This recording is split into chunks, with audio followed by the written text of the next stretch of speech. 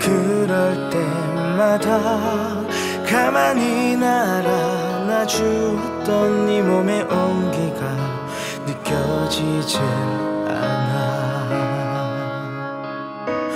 널 보내야 했던 내 맘이